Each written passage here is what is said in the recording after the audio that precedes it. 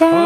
Hello បងអូននេះជាវីដេអូតណាស់ឲ្យបងអូនដាច់ភាគទេចានេះជាវីដេអូតដល់យើងចាប់ផ្ដើមកាត់អូកញ្ចក់បន្តិចមកហ្នឹងហើយយើងចាប់ផ្ដើមកាត់កញ្ចក់បន្តិចមកហើយទៅអូនយើងយកដៃឆ្កឹបរបស់យើងនេះឆ្កឹបតិចតិចតិចតិចតិចហើយដៃយើងដៃមេនឹងដៃក្បាលរបស់ខ្ញុំណា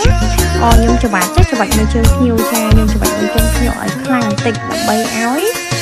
ពីស្អកសាច់ចាពេលយើងឆ្កអីទៅអូវាអត់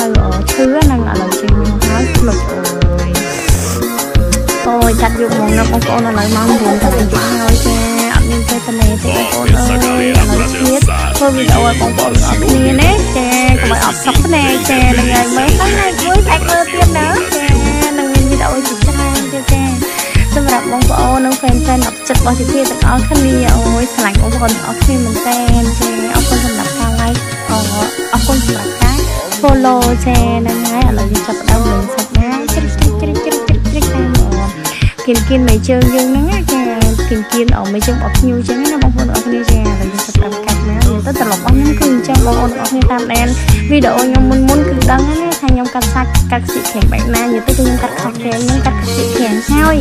ឲ្យស្អាតហើយបានខ្ញុំចាប់ផ្ដើមកាត់សាច់ហ្នឹងហើយបងប្អូនបងប្អូនតាមដានវាគឺដឹងណាចាធ្វើបែបនេះគឺវាអត់រយៈភ្ញៀវចាឲ្យស្អាតតែម្ដងពេលដែលយើងកាត់សាច់ហើយគឺស្អាតផ្លឹងតែម្ដងចានេះ ទៅត្រឡប់អស់ខ្ញុំដាក់ទឹកខ្លួនយើងជើងអស់ខ្ញុំជើងមកចេះ